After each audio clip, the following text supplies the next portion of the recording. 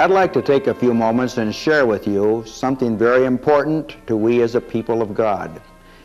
Many years ago, the prophet Isaiah, speaking for God, said, Come, let us reason together. Let us reason together. Though your sins be as scarlet, they shall be white as snow. Though they be as crimson, they shall be as wool. We want these sessions that are going to follow to be a point of reasoning, a time when you think together with God about something that has occurred in your life, something in the past. Think of memories for a moment. Memories from the past. They can either be a blessing or a curse, a friend or a foe. They can gladden the heart or they can make you sad. We want to fasten upon a memory that can be precious to you, a resource for your fight of faith, for your resistance of Satan, and your quest for heaven. We're going to be talking about your baptism into Christ Jesus and of the value that it has obtained before God, of the great benefits that became yours in Christ Jesus. Your baptism is something good and is consistently associated with benefits and blessings in the Word of God. So come, let us reason for the next few weeks concerning your baptism into Christ Jesus and of the blessings that attended it and the benefits that became yours when you obeyed from the heart the form of doctrine and were baptized into Christ Jesus. Now, the concept of baptism has been introduced and developed by God Himself. It's not something anchored in tradition, not something that has obtained its value by the thoughts and views of men. God Himself developed the idea, the concept, the thought of baptism. And when you think about it, we want you to learn to think about it as God Himself thinks about it. By His revelation, God molds the thoughts of believers. And if God can mold your thought life, you can have fellowship with Him and be pleasing in His sight. Our objective in this series of lessons is not to answer every question about baptism. We don't have time for that, and I'm not sure it would be of good benefit to you. But our purpose is to build your confidence, to build your assurance in the living God, knowing this, that if you're confident that you belong to God and God belongs to you, and that you're in Christ Jesus, you'll be able to overcome the world and to resist the devil, and in the end to gain heaven. Think of this that Jesus was introduced to the world by John the Baptizer. Oh, a significant term. John the Baptist, the baptizer, sent of God to introduce the world to Jesus Christ. In Matthew, the third chapter, in verse 1, we're introduced to John the Baptizer. In those days came John the Baptist, preaching in the wilderness of Judea, and saying, Repent ye, for the kingdom of heaven is at hand. In Matthew, the 11th chapter, verses 11 and 12, we learn more about John the Baptist and his mission. Verily I say unto you, among them that are born of women, there hath not arisen a greater than John the Baptist. Notwithstanding, he that is least in the kingdom is greater than he. Up until the Lord Jesus Christ, John the Baptist was the greatest of all prophets, and his greatest mission was to prepare the way for the Lord Jesus Christ, to make straight his paths and make the world ready for him. It's interesting to observe how God chose to prepare the way for Jesus Christ by sending someone noted for being a baptizer, someone who came, as John the first chapter and verse 31 states, baptizing with water. Have you thought about that? That Jesus Christ, the Son of God, your Savior, was introduced to the world by being baptized. What a value that places upon baptism. Even in the very beginning, baptism was associated with remission of sins. Even John the Baptist's baptism. In Mark, the first chapter, in verse 4, we read that he baptized with the baptism unto the remission of sins. So, from the very beginning, with John the Baptist, who heralded the way for the Lord Jesus Christ, Christ's harbinger or forerunner, the one that prepared the hearts of men for Christ, God associated baptism in water with the remission of sins. Now, you must make this association. Baptism is not just something that you did, not just something to which you submitted. It is an ordinance ordained by God with thoughts and concepts centered about it that have been developed. by God Himself. This was God's way of preparing the world for salvation. You'll recall in the book of Luke, the first chapter, verses 68 through 80, Zechariah, the father of John the Baptist, prophesied about the ministry of John and the consequent salvation that would come to the world. Some of the key words that he used in his prophecy are found in this first chapter of Luke and verse 68, where he blessed the Lord God of Israel, who hath visited and redeemed his people Israel. In verse 69, he states that God raised up a horn of salvation, and that John the Baptist was a forerunner of one that would deliver us and save us from our enemies, that we might serve God without fear. Uh, Jesus Christ introduced to the world by John the Baptizer, who prepared the world to serve God and to have sins remitted. You may recall the account when Jesus was baptized. It's found in Matthew, the third chapter, and verses 13 through 17. And a review of that will help to bolster your confidence as we hear Jesus Christ Himself responding to the fact of baptism. Then cometh Jesus from Galilee to Jordan to be baptized of him. But John forbade him, saying, I have need to be baptized of thee, and comest thou to me? And Jesus answering said unto him, Suffer it to be so now, for thus it becometh us to fulfill all righteousness. Then he suffered him.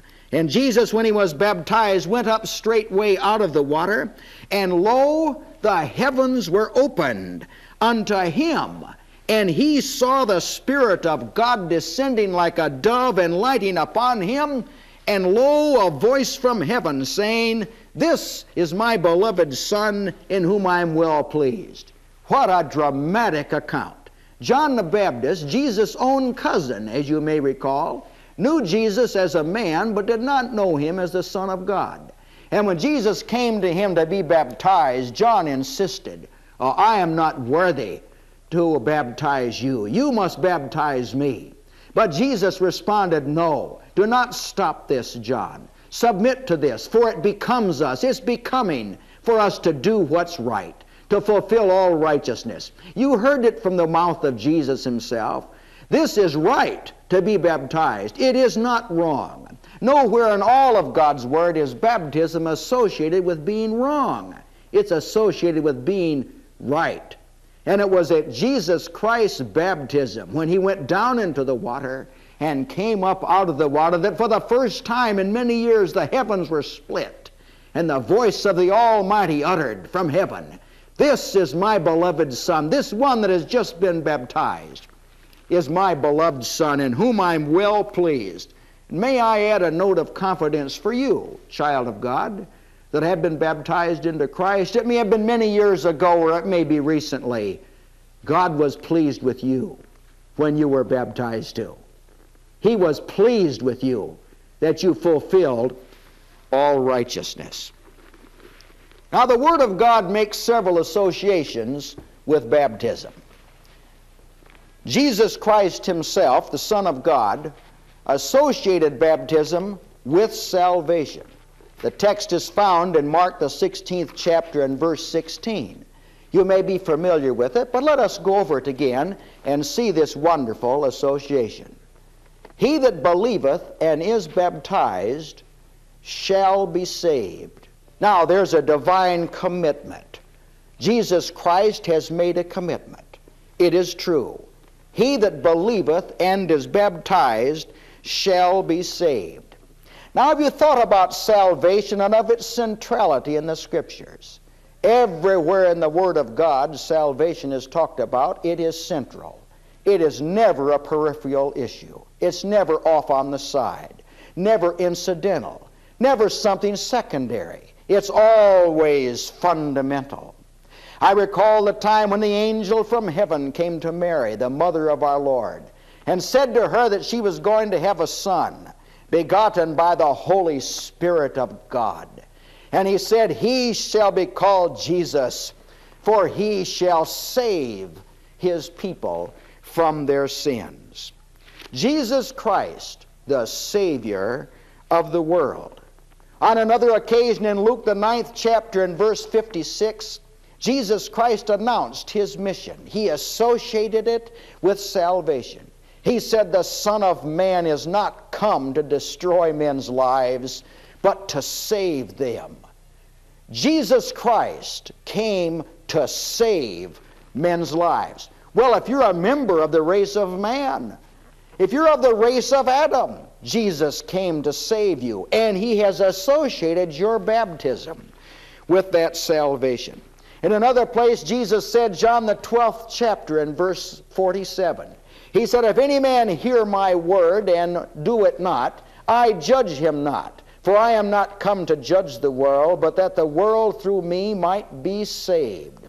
So this day, today, before Jesus comes again, before the world comes to a close, before time, the curtain of time is brought down, this is the time of salvation the time when the Son of God has come to save men's lives. I think of a great saying of the Apostle Paul in 1 Timothy, the first chapter, and verse 15. And let me bear it down upon your conscience. It's something you need to know and need to think about. This is a faithful saying and worthy of all acceptation that Christ Jesus came into the world to save sinners of whom I am chief. Now, this is a faithful saying. There's not an angel in heaven, nor a demon in hell, nor a man on earth that can alter it. It's a divine commitment. It cannot be changed. And it's worthy of all acceptation. It's worthy of you receiving, worthy of you accepting. You are no more right than when you accept this saying, this divine articulation, if you please, that Christ Jesus came into the world to save sinners. Now you will note very carefully that our text tells us that he that believeth and is baptized shall be saved. That is the point at which you become associated with the salvation which Jesus Christ came to deliver. Now notice the situation. A man had fallen and had come short of the glory of God. That dreadful day in the Garden of Eden when Satan appeared to Eve and enticed her to look upon the tree and to take of the forbidden fruit. The race of mankind fell and plummeted down away from the living God. A wall was erected between man and God. He could not come close to him. He was irreconciled. He was an enemy of God. He didn't think like God, didn't see things like God, was afraid to approach unto God. But praise God, Jesus came into the world to remedy that situation. There's none other name given among men under heaven whereby we must be saved. Jesus Christ came into the world to remedy what happened back there in the garden. There are basically two gardens in time. One is in Eden and one is in Gethsemane. And the race of man was in the balance in both gardens. In the Garden of Eden, the race fell and sin entered into the world, and death by sin. But in Gethsemane, oh, think about it, in Gethsemane, salvation began to be wrought for mankind. The word of the Lord tells us that I am not ashamed of the gospel of Christ, the good news, the message of Jesus and what he has accomplished and what he's done. For that gospel is the power of God unto salvation that's God's objective. That's Christ's objective to save mankind. In 2 Corinthians, the sixth chapter, in verse 2, the apostle gives a most wonderful word to us. And let me encourage you to apply this to yourself and your own acceptance before God in Christ Jesus. For he saith, that is God, I have heard thee in a time accepted, and in the day of salvation have I succored thee. Behold, now is the accepted time. Behold, now is the day of salvation. We have here an explanation of salvation itself, insight into what it means to be saved. To be saved is not just merely a change in status, it's an enjoyment of unspeakable benefits. God says in the day of salvation, He hears us. He hears us in a time accepted. That is, He accepts our person. We're no longer cut off from God, no longer cast away from God, no longer sinning and coming short of the glory of God so as to be cut off from Him. Now we are accepted in Christ Jesus. That's the proclamation of Ephesians 1 and verse 6. And he says, in a time of salvation, he succors us, he feeds us, nourishes us, gives us sustenance and divine strength. Friend, God has what you need. And this is the day, the day of Christ, when he's giving those things to people. He has associated that with salvation. He that believeth and is baptized shall be saved, shall come into this association with God where he is heard and where he is fed and strengthened and nourished. Oh, what a blessed thing you have in your baptism. Think of the centrality of salvation again and associate it with the grace of God. In Titus, the second chapter and verse 11, the Word of God tells us this For the grace of God that bringeth salvation hath appeared unto all men. Now, salvation has been brought into the world by the Lord Jesus Christ. Grace and truth has come by him, John writes in John the first chapter. And this salvation is appropriated by your obedience to the gospel. Jesus, remember, made this association. He that believeth and is baptized shall be saved. And the grace of God which bringeth salvation then becomes associated with the person that is baptized. God's grace brings nothing bad. It brings every good and perfect gift down from God to you. The grace of God which bringeth salvation. Now, I'm showing at this point that salvation is absolutely central in Scripture. It's never a secondary matter, never out on the edge of discipleship. Not something just for the beginning of your association with God and then to be abandoned. Salvation is what it's all about. Think of this statement of our Lord Jesus Christ He is the captain of our salvation. Hebrews, the second chapter, and verse 11. That is to say, Jesus Christ has charge of getting you from earth to heaven, of taking you from here to there. He is the captain of salvation. And your baptism has brought you under his captainship. You are under Christ Jesus and being brought to heaven if you have been baptized in Christ Jesus. It's so important, dear believer, that you know that, that you understand that in your heart, that you're under the headship of Jesus Christ. He has been by God given personal charge of you, and his responsibility is to get you to heaven.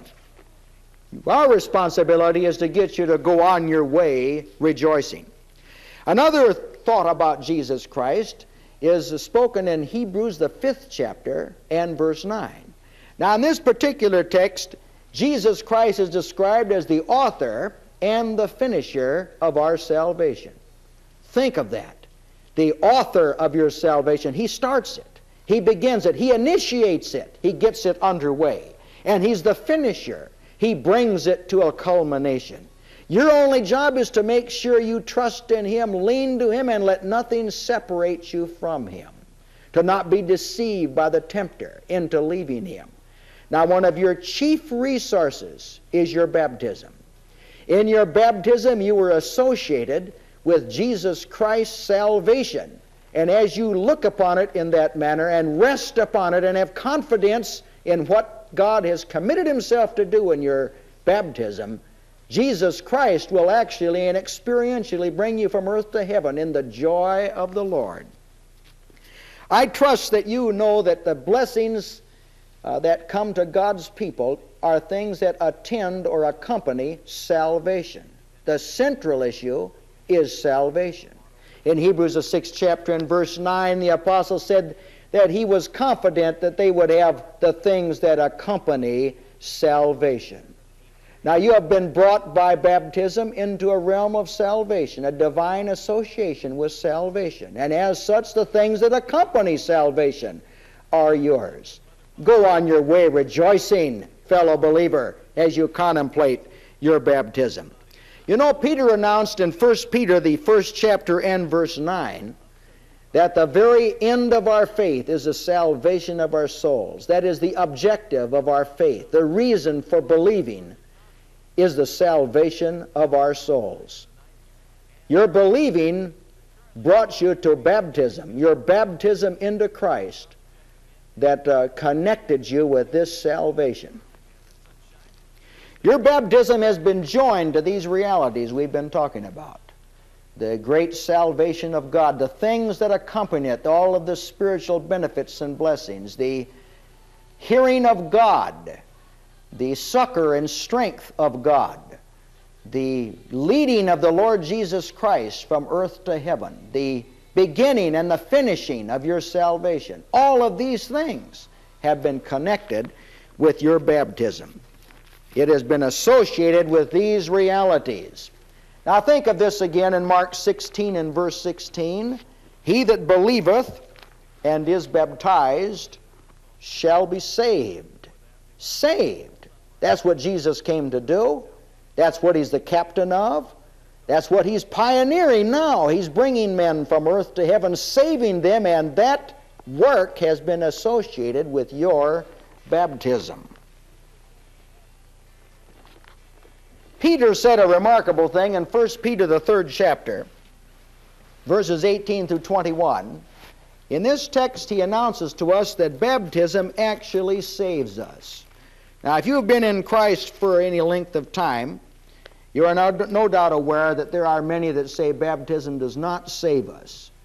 It's very important to me, as someone who's instructing you about these things, that you let no man rob you of the benefit of your salvation. You have been baptized into Christ, and Jesus Himself, the head of the church, the Son of God, the captain of our salvation, said, He that believeth and is baptized shall be saved.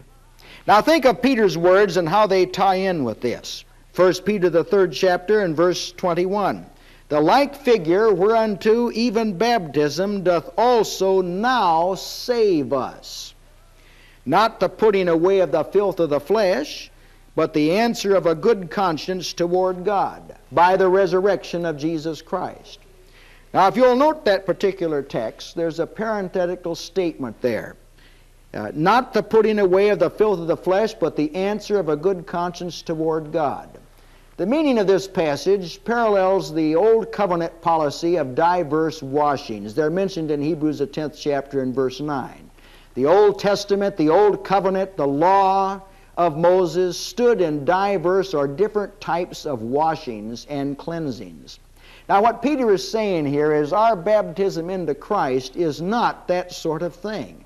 It was not a mere empty ceremony, not a ritual. It is associated with the resurrection of Christ and consequently with salvation. And because of that, your baptism saves you. It connects you with the commitment of the living God. Now let's review briefly what we have discussed in this first lesson. Your baptism is associated with salvation. God has made the association through His Son, Jesus Christ. He did it by preparing the way for Jesus to come into the world by John the Baptizer. John was noted for baptizing people. And he was sent to baptize people so that he could introduce Jesus to the world through baptism. Jesus, when he was brought up out of the water, uh, God confirmed his sonship and said, This is my beloved Son in whom I am well pleased. This association of God's good pleasure with Jesus in Jesus' baptism is something we must not permit to be taken from you. Take a hold of this, believer. Grasp it with all of your faith. This was a time when God spoke at a time of baptism, and He probably spoke to your heart too during that time.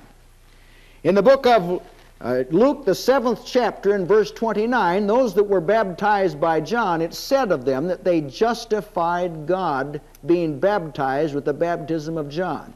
That is to say, they sided with God. They vindicated God. They proved that God was over all by being baptized by John.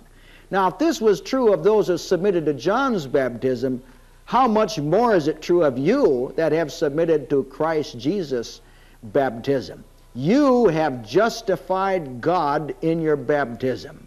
You have proven and demonstrated to the world that God is true and that the commitment that He has made in Christ Jesus meant something to you, and you obeyed from the heart the form of doctrine that was delivered unto you. Heaven recognized your baptism.